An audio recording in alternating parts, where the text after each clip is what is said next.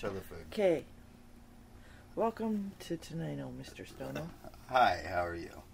I'm here to cook up some grub.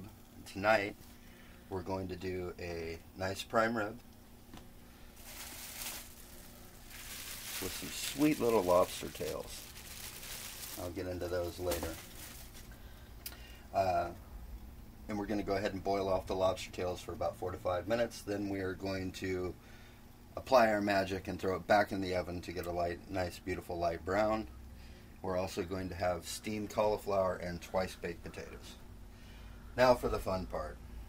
First of all, we're going to make our mustard paste. I'm using a dry Riesling. And then I'll use dry ground mustard.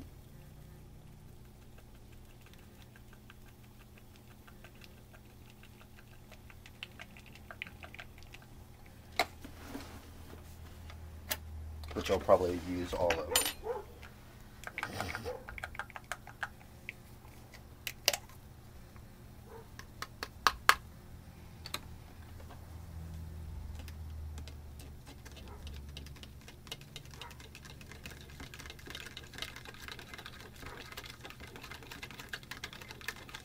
Not thick enough.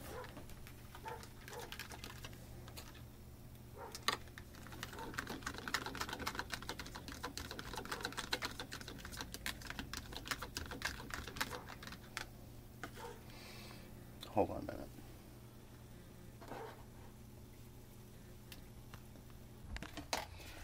So I added a little bit too much wine for the uh, ground mustard we had, so I had to go ahead and reduce it into a paste. You do that non-stick pan.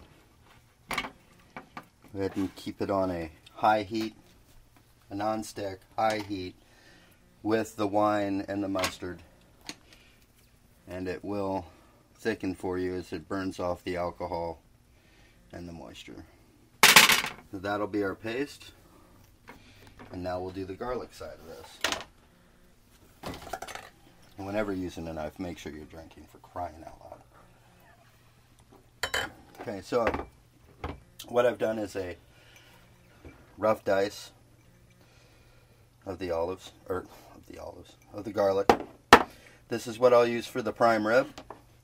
And this is, oh, about two and a half, three cloves. I have a clove and a half in reserve, and that will go with our lobster when we make the butter.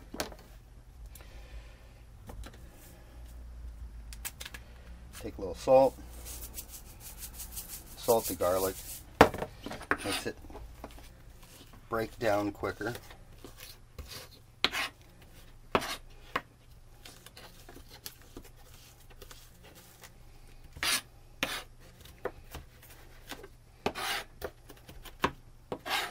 Find a way that you're comfortable with cutting it. And crush it. squeeze all that juice. Make sure that everything gets in there.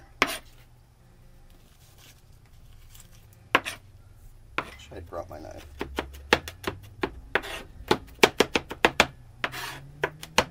He's kind of dull over here, huh?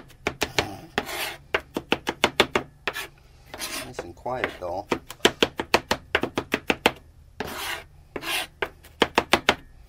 Except for the shooting I heard about up here. The shooting. Yeah. At the gas station. Oh, yeah. the gentleman shot himself, dropped his gun. Yeah, that was incredible. I hope he realizes that he's very lucky that it didn't shoot somebody else when it fell.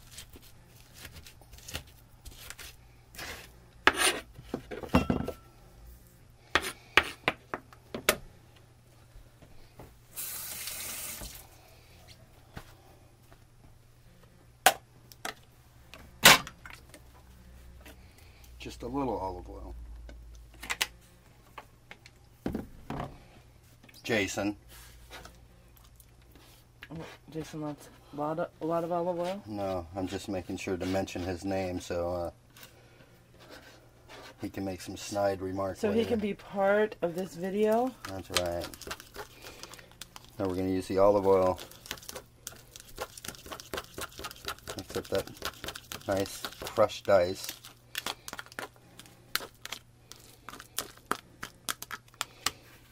Have some nice fresh garlic.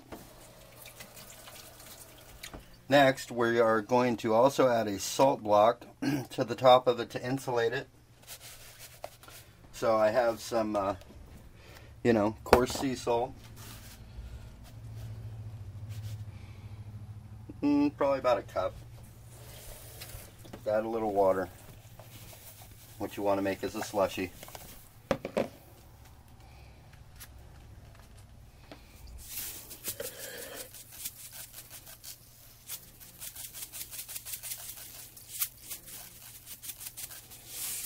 Now it's okay for it to be moist, but you can see here that there are still some dry particles. If you have any cuts on your hands, you may want to be pre-warned that there could be a slight irritation in doing this. Get in there and mix it. We're going to need a little more salt in there.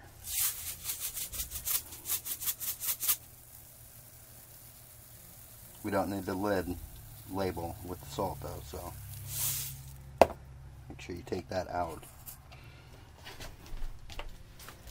Okay.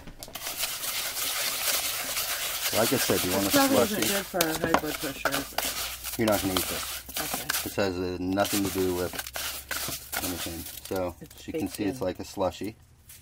Okay. Snowball fight. Hit somebody in the eye with that. Okay. So now we'll dress the prime rib. Where did I put the prime rib? Oh yeah, it's over here.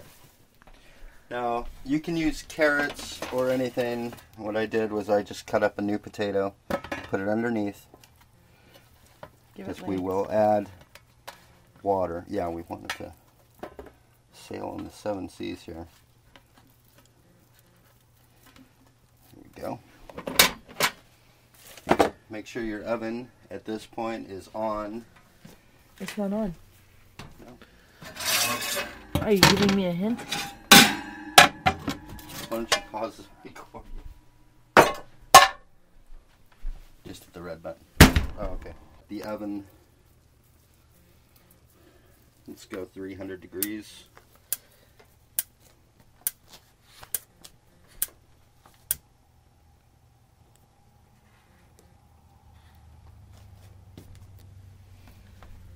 Okay, for some reason, somebody put a gouge in this at the butcher shop. Look at that. Oh, should we sew it up? They should learn how to cut meat.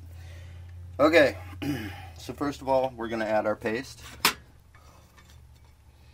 You can see as it sat there, we got that nice. Mm. I'm going to rub that all over the top. A bit on the sides. Okay. We're going to go ahead and add our garlic.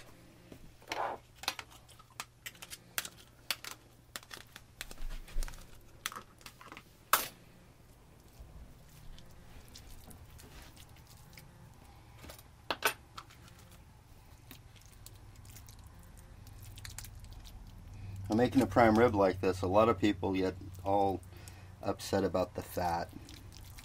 And a lot of the flavor will be cooked into the meat is in the fat. So if you don't like a good healthy steak, I suggest you not. I'm going to go ahead and poke it a little bit. Get those flavors inside, under the fat, and into the meat.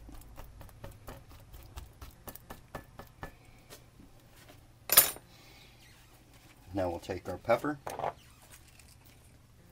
I can already hear the comments that are coming. Oh yeah, like what? From who? Your buddy.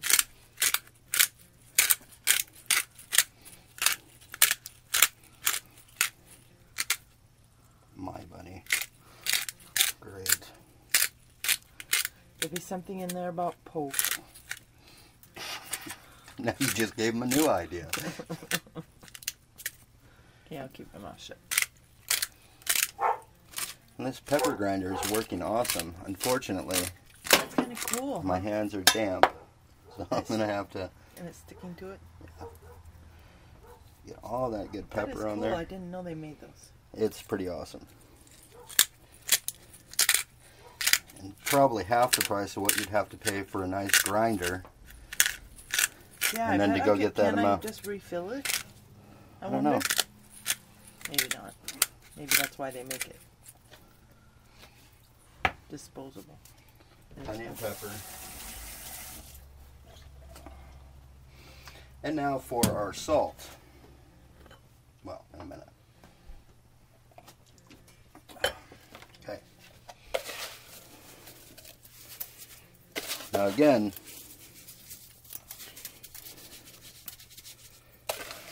just insulation. It's not gonna be in the meat.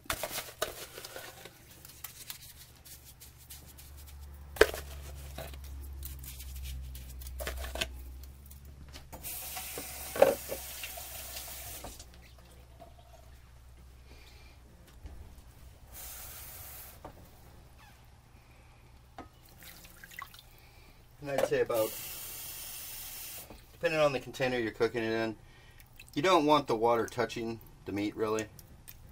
You want it just below. And all that's going to do is that, of course, will vaporize and do its magic job of an even cook underneath that little bit of salt. Probably should have made the salt layer a little bit bigger, but you know, it's a five pound prime rib. It's, it's going to cook relatively fast. What the salt does for you is it insulates and helps it cook more evenly and quicker.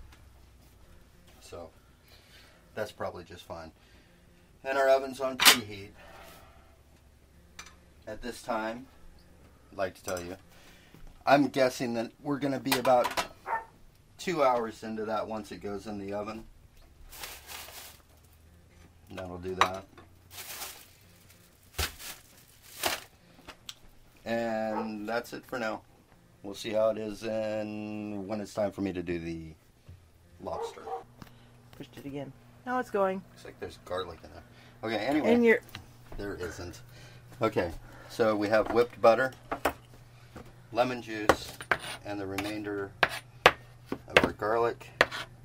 We're gonna add our salt to it.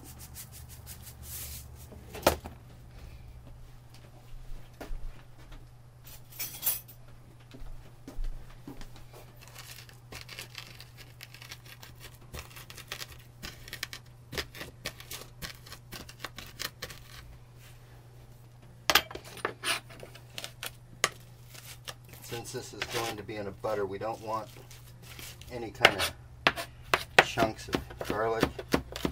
So we continue to dice through it, cut through it, come back, smash it really good, grind it right into the table, to the cutting board. So that actually starts turning into a bit of a paste.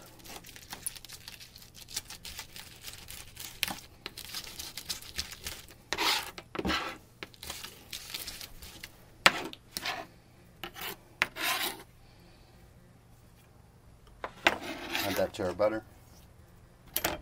Whip.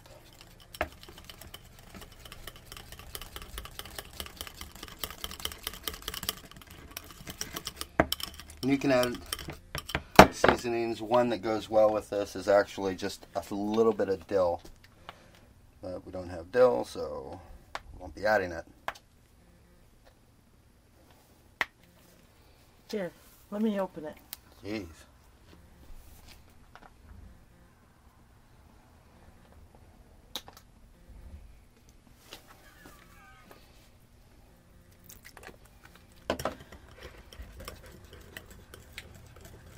Yuck. Garlic and lemon. You want it to get to that nice consistency, almost like a Cream. kind of like a cream or tapioca pudding, where you're seeing bits of garlic in there. Add a little bit of pepper, just a touch.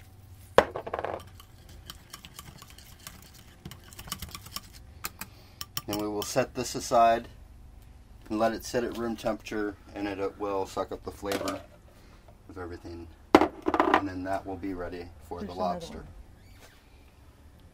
What? And that's it. There's another one for you, Jason. Are you ready? Yeah. So a half an hour until it's done. The oven is nice and hot and thinking of Jason and What are you doing to the meat? molesting the meat. Jason. Something you would do. So anyway, right now it's uh it's a really fine rare right now. Feels absolutely wonderful. As you can see the water's dried out. I'm gonna add a little bit more water. Just so that pan doesn't get Burnt out. baked on with all the salt. You can see some of it's come off. Also see the salt is now dry. There's a thin layer, and we'll pick that up off of the prime rib when it's time for it to rest, which will be about another 15 minutes. 15 minutes. So now you got to get started on the. Lobster. Okay. Okay. You gonna wait till I come back? Oh yeah. You know, stop. Go.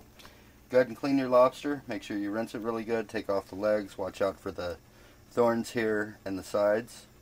Also, go ahead and trim around the top any of this young shell that you'll see. It's a light blue. Um, plenty of good meat in there.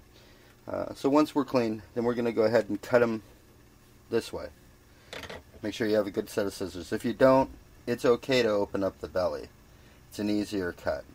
The point is when you're doing this, the meat itself is going to swell and expand as it cooks. So what happens is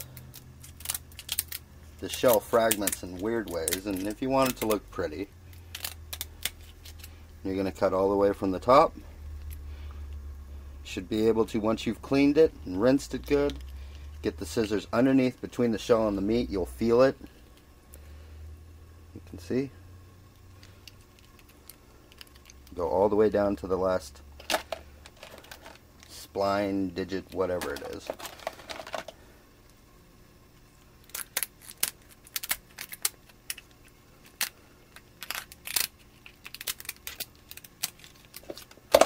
And now we'll wait for our water to come to a full boil. Peachy. Hold on. Okay. Our water is at a nasty rolling boil. We'll add our lobster. Now I understand through time that it's always better to do it shell side down so it apparently traps that good juice in there what have you. Now also I have let this butter set up for about an hour and a half and it was just garlic, fresh butter and, and lemon juice. I've now added a bit of parsley and when you taste this when you actually taste this an hour after it's been made is the best time to make your uh, additions of lemon juice and different seasonings and if you taste it with a spoon just a little bit before you do that you'll understand why because the garlic is infused into the butter really nice the lemon juice acts uh, uh, you know as an astringent pulling it in there the flavors meld it's just it's wonderful then you can go ahead and add other things like dill or parsley or paprika, maybe a little bit of pepper if you want. I didn't add it here. As you can see, it has a really nice consistency, and damn, it's good. Mouth watering. So, while we're sitting here talking, the lobster is looking rather dapper.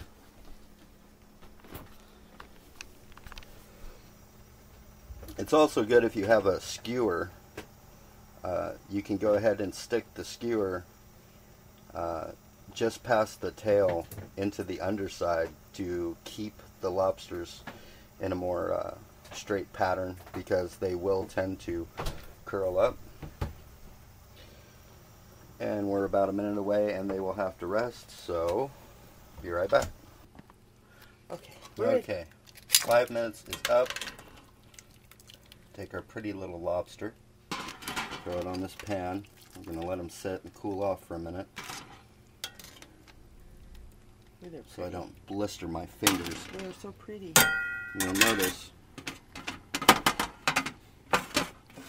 let's not burn herself on an unsteady surface. Please use a steady surface to burn yourself. You'll notice that they, of course, have, have crowned up, like I said. See how that meat is just, just, it's right there. It's perfect. You know, you don't want it too done. So we'll go ahead and let these rest for a minute, cool off, and then I will throw them in the oven and bring our prime rib out. Okay. Okay, so after we took them out, we let them cool. Then I cut the shells. Cut halfway down. You're going to peel it open, clean out the trail. I'm going to peel it open and then cut half the shell away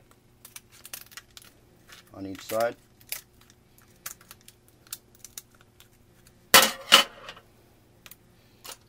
Then you get to nibble on all the uh, lobster meat on the shell.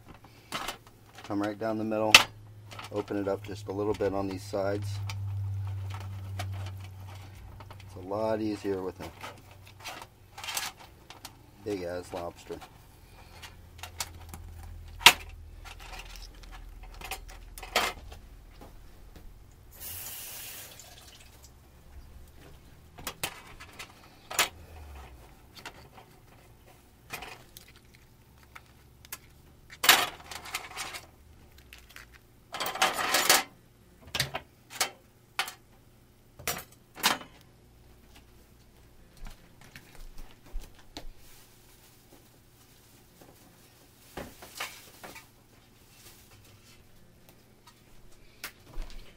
That was smart. Okay.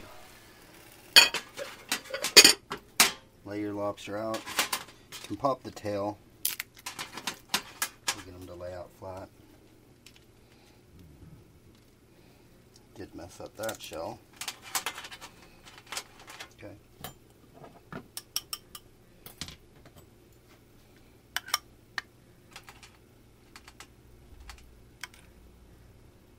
You can use olive oil if you want instead of a butter.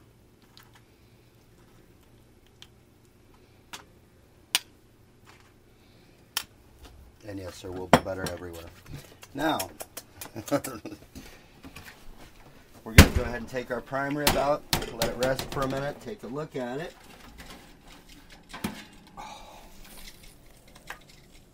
Yeah. And we'll place our lobster in the oven and turn the oven off just to make sure that we don't overdo that baby. Yeah. Let's molest the meat again. That's what that's going to be a beautiful medium rare right right down the heart. Lift our salt block.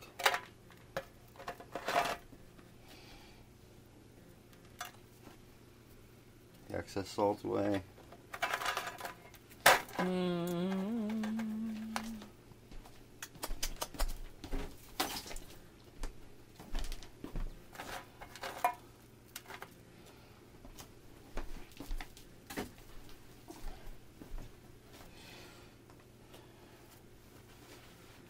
I think that second little batch of water really helped it.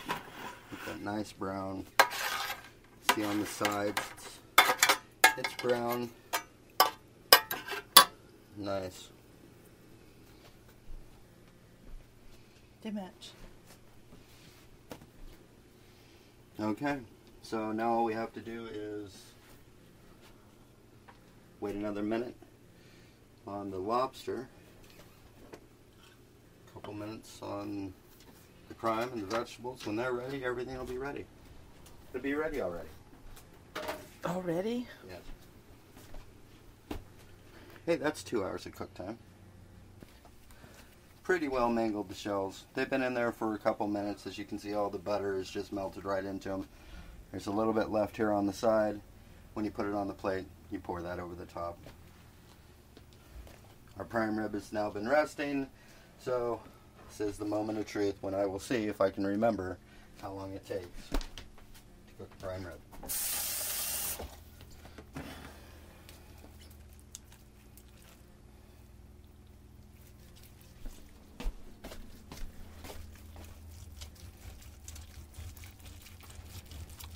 Oh yeah.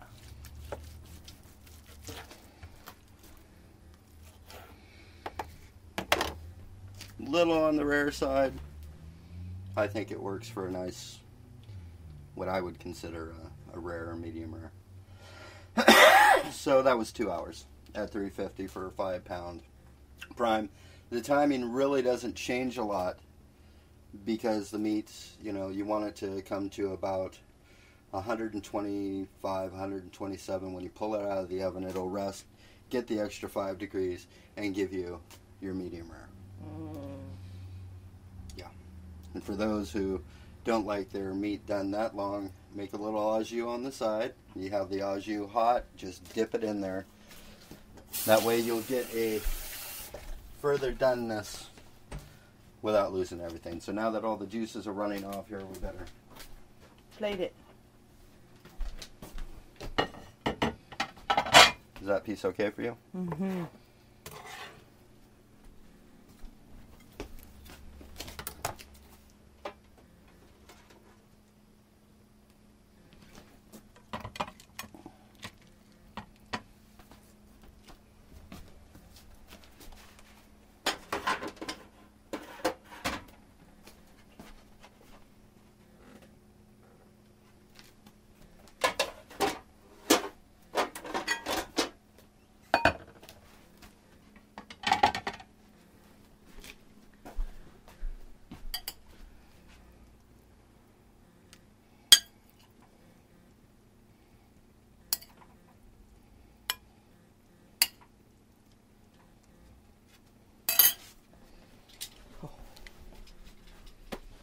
And there you have it.